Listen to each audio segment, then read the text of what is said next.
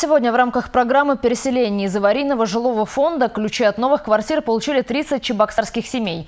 За время действия программы с 2012 года в Чувашии переселены уже 6,5 тысяч человек. Сегодня глава республики Михаил Игнатьев и глава города Чебоксара Леонид Черкесов вручили ключи первым в этом году переселенцам.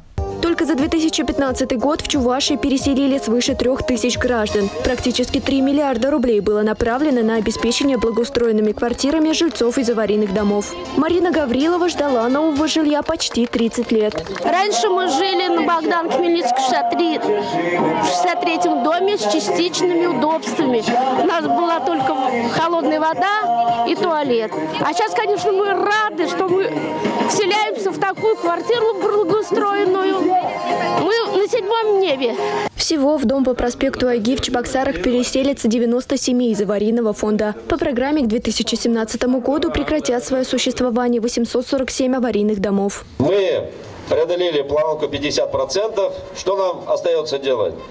Ежегодно строить дома, переселять. Понятно, там квадратные метры мы отслеживаем. Качество работ, строительных работ и отделочных работ со стороны подрядчиков должно быть надлежащим образом выполнено. Еще 15 семей получили ключи от квартир в доме по улице Яблочкова. В скором времени сюда заселятся другие жильцы. Фонд программы переселения переданы 88 квартир. Сейчас в настоящее время, конечно, очень тяжело представить, вот, что как жилье получается просто подарок. Это такой случай.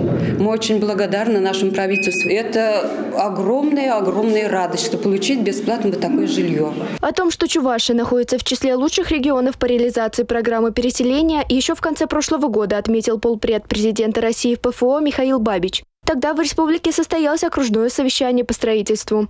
И здесь, в Чувашии, картина очень благоприятна относительно многих других регионов. Она не идеальная, но здесь находят механизмы, каким образом эту проблему решать. За все время действия программы планируется переселить свыше 13 тысяч человек. Несмотря на сложную ситуацию в экономике, в 2017 году программа должна быть полностью выполнена.